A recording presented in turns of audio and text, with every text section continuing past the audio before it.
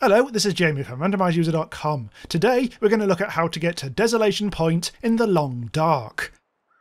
So, Desolation Point is the fourth major area they've introduced into the game, and it can be accessed from Coastal Highway.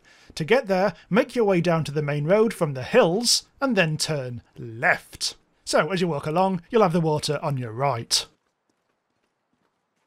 So Desolation Point is basically the easiest transition you'll do in the game. It just requires you to go through a short area and then a mine. So you will need to bring a lantern, and possibly a rifle as well, because there are quite a few wolves around.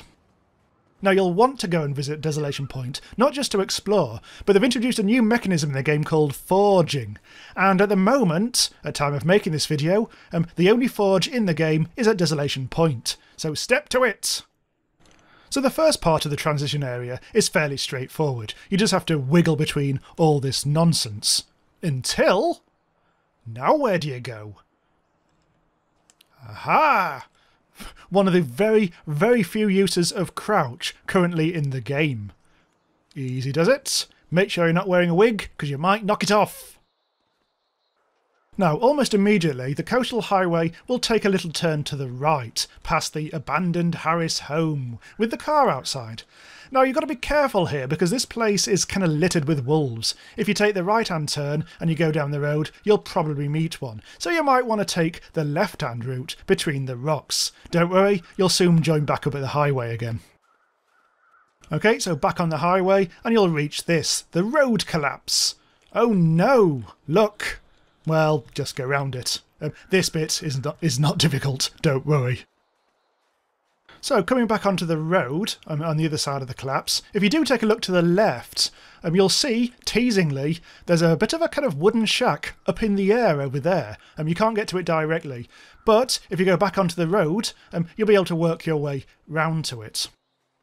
The road will take you into another collapsed area, but this is the point where you want to turn left and go straight on down here, and you'll get up to that wooden shack we talked about. And here we are. Yes, I'm afraid the wooden shack is not a wooden shack at all, but another abandoned mine. Hooray! And here we are inside yet another mine. So light your lantern, or use a flare if you're old school, and let's go straight forward pausing only to grab what you want from the usual places. Hooray! Let's go! So, as before, you'll need to duck so you can squeeze through this little tunnel. And you'll immediately come to a choice, left or right. Or look on the ground and pick up some coal! Hooray! Yeah, you'll want coal if you want to use the forge, so it might be a good idea to pick stuff up as you go along. Coal can be found in any of the mines in the game. Okay, let's take the left-hand route. Very soon, you'll come to the first room. There's my flare on the ground, just ignore it. To the right, there's a blocked exit, don't worry about that. There's a bit of stuff that you might find on the shelves, and even a workbench if you want to craft. But the exit we want is over here. Immediately, you'll come to this, not much of a choice because you can't go that way. But again, plenty of coal on the ground for later.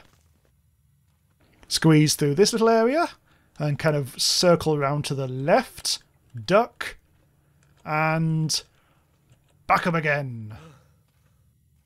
This tunnel will open out into a slightly larger area. Just go slightly to the right and you'll be fine. Notice there is a bit of weird stuff to the left. Ignore that. Very quickly, you'll come to another choice, right or left. If you go left, you'll come to a gate very quickly, so don't bother doing that. Take the right passage. And voila, you'll very quickly come to the exit. Take what you want from the shelves, and then Desolation Point is yours! Right, here we go, Desolation Point. Quite an easy transition, that one. You shouldn't really have too much trouble with that. Okay, so I'll leave you to explore this yourself. There's lots out there, including a forge, if you want to craft arrowheads to make bows and arrows and things. Hopefully I'll put up a video explaining that separately. So thanks for watching, this has been Jamie from Randomise User. Uh, subscribe if you want more videos like this, and I'll see you next time. Bye bye.